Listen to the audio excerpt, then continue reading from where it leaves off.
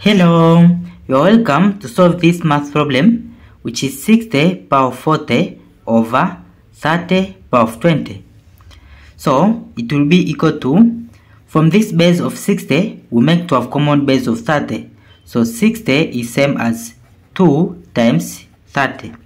Then bracket power of 40 over this exponent in the denominator which is 30 power of 20 then it will be equal to we take this power of 40 inside the bracket so it, be, it will be 2 power 40 then times 30 power 40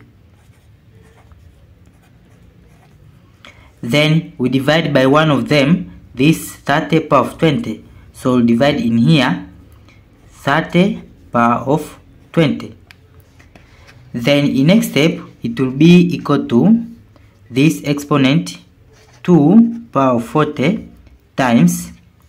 In here is division of exponent with same base of 30 so it will be same base of 30 then power of 40 minus 20 which is power of 20 then in next step it will be equal to in here, we make this power of 40 to have common power of 20. So this 2 power of 40 is same as 2 power of 20 plus 20. Then times this exponent 30 power of 20. Then in next step, it will be equal to 2 power of 20 then times 2 power of 20 then times this exponent 30 power of 20 now in here is multiplication of exponent with same power of 20 so it will be equal to 2 times 2 times 30 2 times 2 times 30 then bracket same power of 20 so it will be equal to 2 times 2 is 4 4 times 30 is 120 power of 20. Therefore, this is our final answer.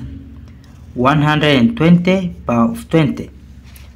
Or to solve in another method from our problem which is 60 power of 40 over 30 power of 20.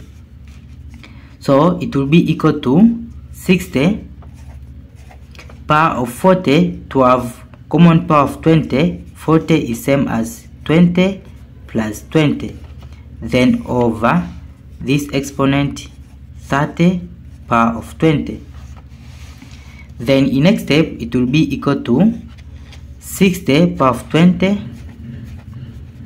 then times 60 power of 20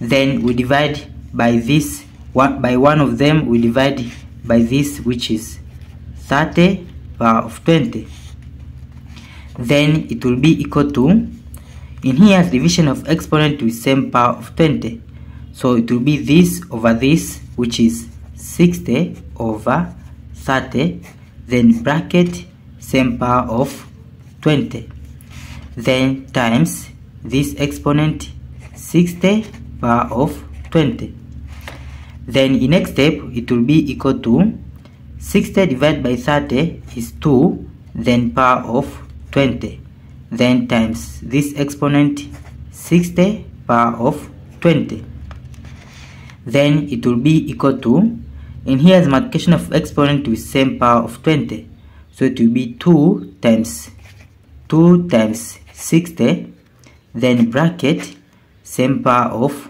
20 so it will be equal to 2 times 60 is 120 power of this 20. Therefore, this is our final answer. Same as the answer in the first method. Thank you for watching. Don't forget these steps to miss out. Subscribe to my channel and see you in the next video. Bye bye.